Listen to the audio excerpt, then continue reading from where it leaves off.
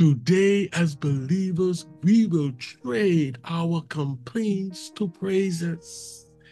We declare on this Monday that God is good and that He's worthy to be praised. The call today for believers is to praise ye the Lord.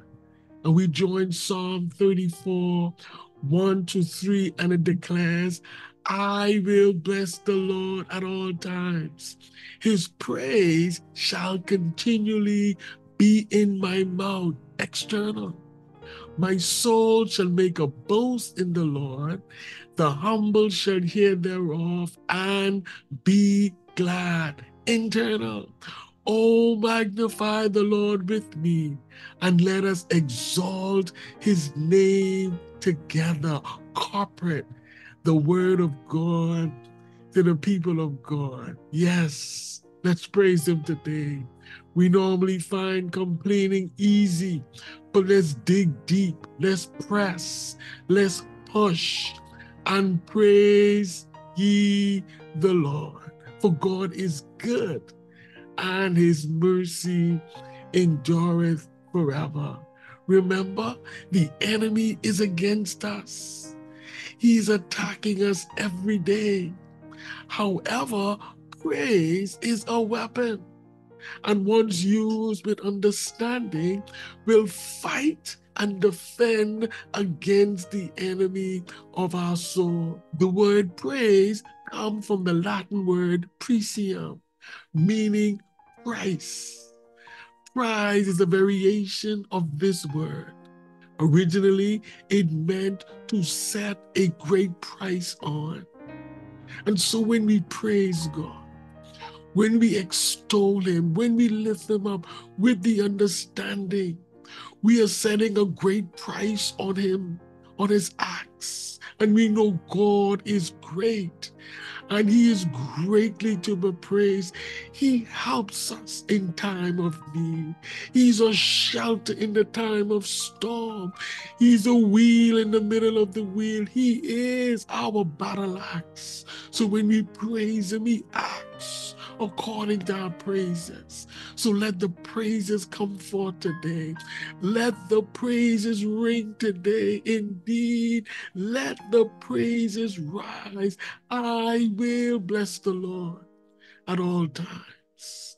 His praise shall continually be in my mouth. Let our soul make a boast. More importantly, let the humble hear and be glad. Cause others today to praise the Lord, to magnify the Lord, to exalt Him, and watch God work in great ways on your behalf today. On behalf of your family, your business, on behalf of your community, the place of your influence, give Him praise.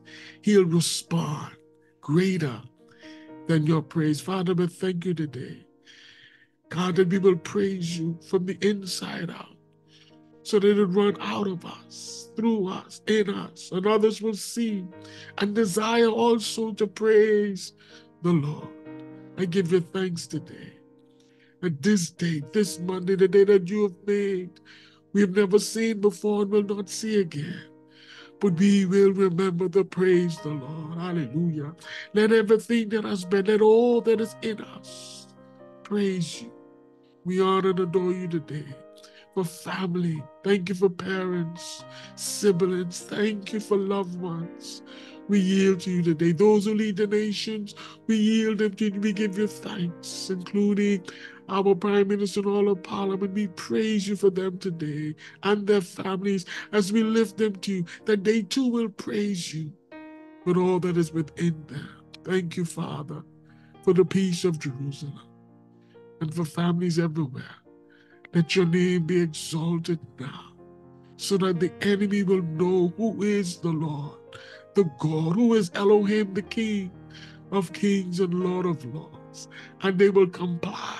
Hallelujah. The atmosphere will shift. Indeed, the winds will seize the hearts of men and change them so that they may praise you as well. We give you thanks For praise is calmly, is expected of the righteous. Help us to do it today with all that is within us. Help us to bless your holy name. We give you honor. We give you praise. In the name of the Father and of the Son and of Holy Spirit. Amen. Let the redeemed say so today. Praise the Lord. With all that is within you, let nothing stop you. Let nothing stand in your way. Praise is our weapon, and the enemy will have to flee when we draw nigh to God. God bless you. Have a great day in the Lord. Amen.